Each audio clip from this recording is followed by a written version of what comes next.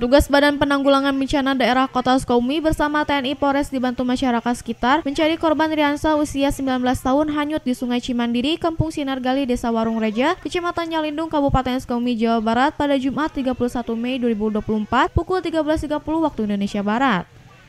Kapolsek Nyalindung AKP Joko Susanto Supano mengatakan korban warga kampung Mukti Kidul, Desa Bojong Harja, Kecamatan Cikembar, sebelumnya bersama rekannya Indra usia 26 tahun, datang di Desa Warung Raja hendak beli burung merpati dari warga setempat. Pada saat melintasi jembatan gantung, korban bersama rekannya terlebih dahulu singgah berendam di Sungai Cimandiri. Namun naas korban tidak bisa berenang terseret arus pusaran Sungai Cimandiri sedalam 6 meter hingga tenggelam. Sementara rekan korban sempat menolong namun gagal hingga korban tidak muncul di permukaan air.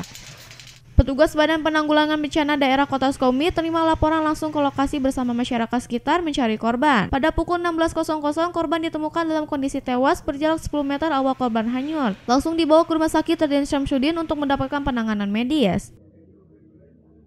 Korban itu bersama dengan temannya eh, bertamu ke desa Sinaga, ke kampung Sinagari, desa Wangun dengan alasan mau membeli sesampainya di tempat tujuan ternyata dia izin dulu untuk mandi ke sungai sungainya kebetulan ada di belakang rumah dari yang akan didatangi Usai penanganan medis, jenazah korban diserahkan kepada keluarganya untuk dimakamkan. Dari Kecamatan Nyalindung, Kabupaten Sukabumi, Iqbal Bakar, Tim Liputan MGS TV melaporkan.